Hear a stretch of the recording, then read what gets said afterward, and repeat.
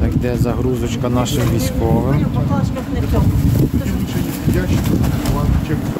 Автомобіль також поїде на передову.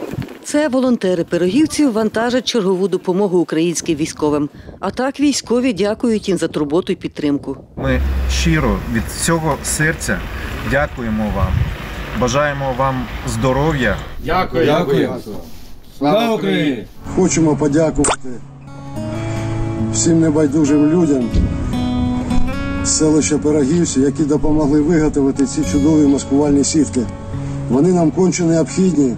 Усе, що просять бійці з передової, своїми руками виготовляють жінки в господарському приміщенні релігійної громади. Волонтерський центр у Пирогівцях розташовується вже півтора роки на території православного храму. Це стало можливим після того, як релігійна громада перейшла до православної церкви України.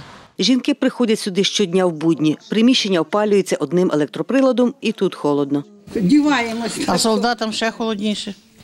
І так і сидимо. Ці жінки кроять фліс на шапки та підшоломники для військових із обрізків із швейних цехів Хмельницького. Скільки нарізають за день, не рахують, каже Надія Петрова. Ми не читаємо. Скільки зробили, замерзли, пішли додому. Шапки теплі, зручні і військовим подобаються, каже Галина Аршинова. Відгуків тільки позитивні. Нам дякують, просять ще. Та показує, що ще виробляють тут волонтери: запальнички, які горять до 10 хвилин, і які потрібні бійцям на позиціях, окопні свічки, чаї з лікарських трав, які місцеві самі збирають, сушать та фасують. Це все міряється сотнями, не десятками, а сотнями. Наш контингент це всі дівчата поважного віку, тобто пенсіонери, і ходять постійно.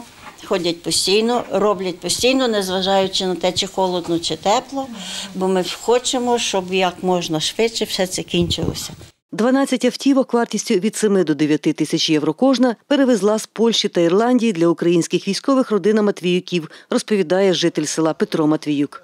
У мене там брат, і в нас є можливість звідти вести праворульні автомобілі. Вони розмитнюються тільки на військових. Ми їх сюди приганяємо по запит військової частини і від, від, віддаємо безпосередньо на передову. За його словами, за півтора роки до пирогівських волонтерів долучилися і Пархомівецький, і Бахматівські. Світлана Поробок, Іван Мовчан, Суспільне новини, Хмельниччина.